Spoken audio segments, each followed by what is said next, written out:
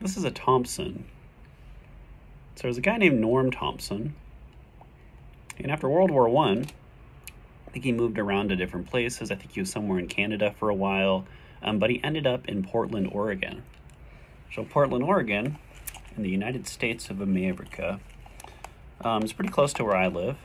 And it looks like he had quite a few like tobacco shops there. So I think pipe shops, tobacco, etc. And I think there might actually still be like a Thompson cigar or something like that. Um, but he was definitely, he was a businessman. Got some um, Scotty's Bulk Blends Trout Stream in here. Nice, cheap. I like it. Lots of Cavendish, black Cavendish. But these Thompson pipes, I've kind of found them online, quite a few of them. Um, these are his his German pipes that he made. I know I don't know exactly which company. I think it might have been Oldenkott or something.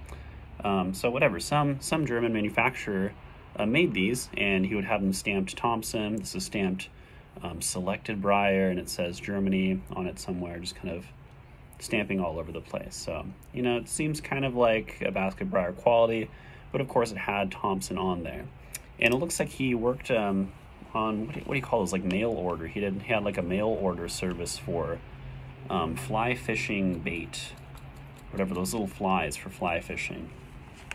And I think at some time he probably had a mail order thing going on for pipes too. So he's probably mail order selling pipes at some point.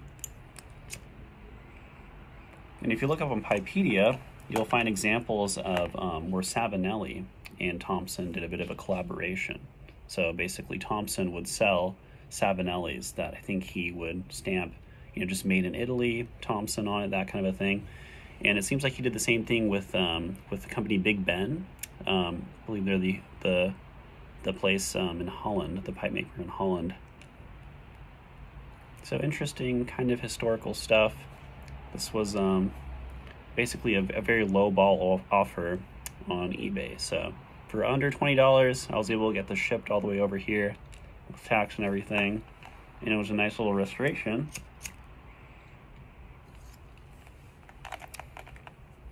So right here, there's a little crack that didn't go too far. So it's a really short crack. I was able to, of course, super glue that. And this came this kind of red color. So it's very red color to begin with. Um, but these spots with the rustication didn't really have any black on the inside. And it kind of like having black on the inside and then another color on the outside. Seems to look a lot nicer. And there were still some fills, like you can see these four little fills right here. And they were that kind of brown woodish color that most fills are made out of. So instead of having those fills, I just pulled those out, you know, just basically took a little metal thing, pried those out. And I put in some charcoal, put some uh, super glue in there, as I do with these stem button rebuilds. And I did that all the way around um, with these little fills that are all around there. So I had some color issues. Some of the uh, the briar here is not very red. Tried staining it red again, restaining it. Didn't really stick very well. So there might have been some some process that I should have done really roughened it up with sandpaper, really gone down to um, to just the raw briar or something like that. But I think it looks okay, given that it's just it's got a lot going on. You know, it's got a lot of little markings, etc.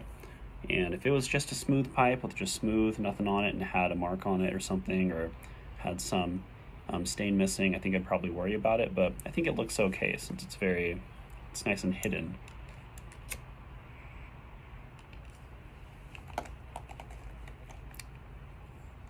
I do have a video up on Instagram where I show, I shine a light, and I show inside the mortise here, if you go all the way deep down from the mortise to um, where the draft hole begins again, there's a little bit of a crack, tiny crack. And I notice as I go through a lot of these, um, a lot of these estate pipes, I find a lot of cracks. And I find that a lot of times a crack will run and it'll stop. It makes you wonder if the briar itself, if it's even guaranteed that the crack will continue over time. Maybe it'll actually just stop at a point and it won't continue on. So it's kind of what I wonder with a lot of these pipes. And this is a little bit, this might be kind of gaudy and gross, but this is actually an earring that I found a long time ago of course had the sterling silver stamp on it and I think this is a gold fill. So it's like whatever carat gold fill. And I never used it I just had it inside a drawer for the longest time. So I actually chopped off that little um what do you call it the post that the earring is on. I chopped it really short. I drilled a really small hole and uh, of course roughed up the sterling silver a lot, roughed up the vulcanite, and I used that five minute, uh, was it something Bob Smith Industries, I forget, but the five minute epoxy that most pipe makers, I guess, use. I think they have them at Vermont Freehand too. And use that, stick it on there. You know, of course, it cured really quickly, and it seems to be pretty solid. Stuck on there. Obviously, it didn't fall off after my buffing wheel, you know, buffed the crap out of this. And the stem was one of those fake P-lip stems to begin with. So it was a little bit wider than this. I thinned it out a little bit or narrowed it out a little bit. Um, but this used to actually just be a normal P-lip shape where it comes out a little bit more. And it's a little annoying to have a P-lip, which is a faux P-lip. It wasn't drilled from the top as, you know, P-lips you're kind of supposed to do. You're supposed to drill them from the top so that way the smoke comes out the top. It wasn't doing that, obviously, it was drilled right through. So it just looked like a P-lip, and every other way it wasn't. So I decided to add a little bit more material to the top of the button, and I let the bottom be that cutout that most P-lips um, come looking like. They have that cutout. Because I don't really need that portion. It's not like that portion is setting on my teeth the same way the top of the button sits on the back of my teeth. So I decided to leave it cut out. And in the future, I might actually have this as my standard button shape. All I really need is like a, a file to get in there and file it into the round shape. I know, it looks kind of interesting, looks kind of neat. Maybe later at some point I'll actually file a slot in there too, once I get the tools from Vermont Freehand. So that might be an interesting little project for a lot of my pipes.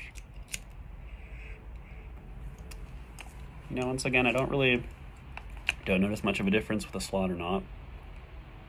But there are people out there who like slots, so it'd be kind of interesting just to try it out, just to learn anyway. To learn how to file slots and stems.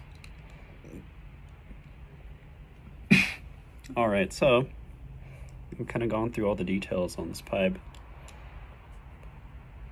It's a cheap smoker technically, and I think it's been restored to a point that it's kind of neat and fun.